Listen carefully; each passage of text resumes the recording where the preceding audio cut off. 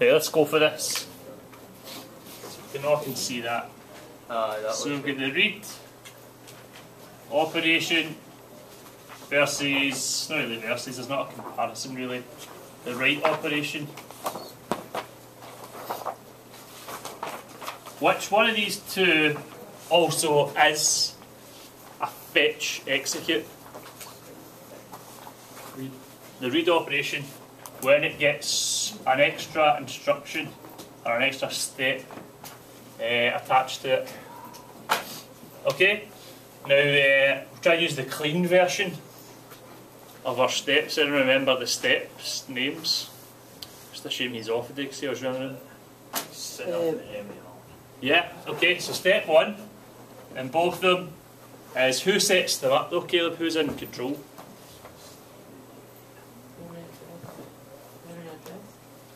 So I know it's the memory address we're dealing with, but who who's in charge of this operation? Who's the boss? Yeah. So the control unit sets up the MAR. All right, let's define these. What's the CU again?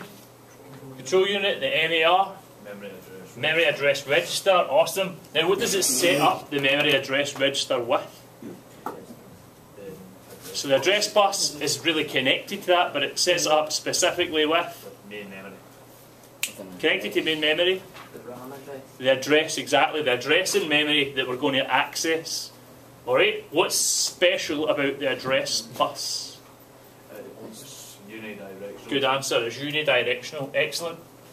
So after we've got uh, the address to access, that's where they're different because the first step in the write operation again is the CU sets up the MAR.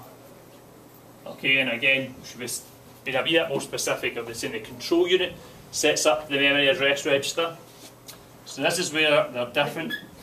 Remember, read is trying to bring something back in, so there needs to be an empty space for it to put it. Alright, so there's nothing in the other register yet. You activate the read line. Awesome, right, we're ready to get the information there. So we activate the read line. So this is where they can ask us a lot more in the exam as well. What's some of the other lines on a control bus, you know? Apart from write. Reset. Read, write, reset, Lock. clock, interrupt, Non-maskable. non-maskable interrupt, which opens up the next question. What's the difference between the two of those? That one sets up the NDL. No. interrupt the non-maskable An interrupt? interrupt can be interrupted. Non-maskable. Well, an interrupt just comes up with minor, What's the word we're looking for? minor error. A, a. Better word. than major. What? What's the difference? I'm doing it to him right now because he's talking. I'm just like that. Ah, you can ignore an interrupt. Yeah, Aye. non-maskable interrupt can't be ignored. It's Great. I was going to tell you the answer, but thanks for ignoring Well, I used you to demonstrate the answer. You just got used Ah, off the yeah. Alpine. Listen, you. I'm going to get two cameras and just video you idiots. See this? I was what I do, can't I? I can't. I can't be bothered editing it, having it seamless. Anyway, Dirty Magazine, something like that. That's where it steps. That's to use the clean version. Anyway, uh, activate the read line. Perhaps next. You copy the data onto the MA. Yeah. Mm, close. Data's copied onto what? Nah. No, the address. What? You're the man that just told us the address bus was unidirectional. How does it go back there? It's like running up a slide. You're not allowed to do that. Yeah. Can we take two? Can you rub that out and let's do it again? This is been a bit weird. But that's a bit. What? It's weird. It's correct. Aye, but you're the one that's telling us the answers. He's discussing it with us. He's just shouting out things until he gets a mic. Well, if he writes everything he knows in the exam, he's bound to get some marks. Okay, so data, uh, data is copied from main memory, it's released onto the data bus. How does it uh, end up and where does it end up? It's transferred along. Yeah. The, it's transferred along in. To where? Through the. Where does it transfer to, buddy?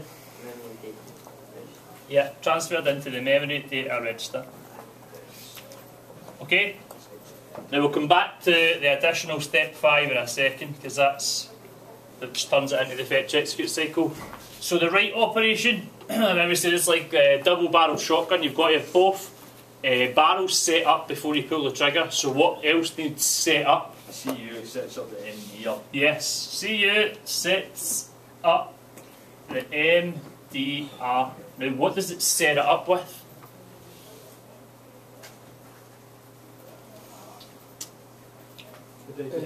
Yeah, and the data needs to be written. Excellent. I drew out another question. What are some of the different things that could be stored in a register? An address. Address, data, or A logical. What are what's the computer executing all day, every day, millions of Instructions. Alright, so it could be an address to access, it could be uh, data to be written, or it could be instructions. It could be uh, values from calculations as well. Okay, so we've got everything set up with the write operation. Activate the write line. Good. Activate the write line.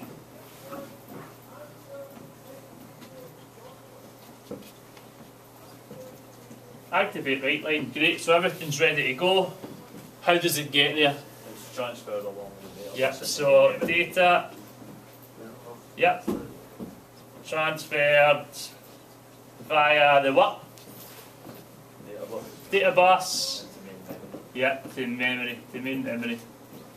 Okay, so a few things we could do with expanding on there. Okay, so they both get four steps right in that way. Don't get um, um, mixed up with the exam. They might condense them and just say about it.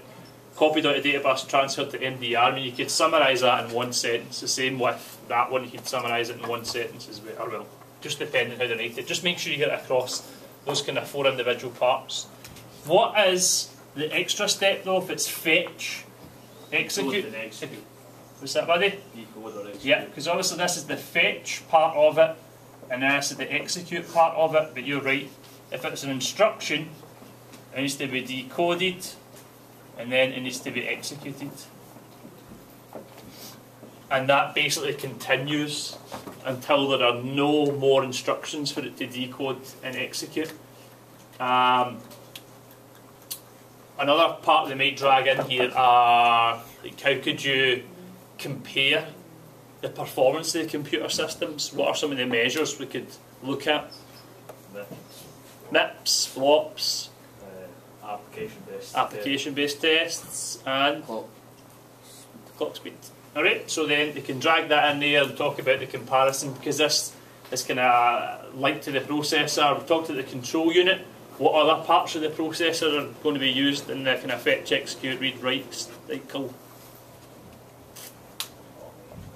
Clock, obviously, yet to synchronise everything, definitely. But more specifically, the parts of the processor they're going to be asking us about. ALU, which is good, so that carries out all the calculations, makes logical logical comparisons, and Registers. which we kind of covered the temporary storage locations. So we talked specifically about two types. Alright, so they might drag all of those types of questions in there. That's quite important, uh, depending on the section it's in. It in for four marks, where they get you to write down all the steps, and then it's also been in part one where you fill in two blank ones for two marks.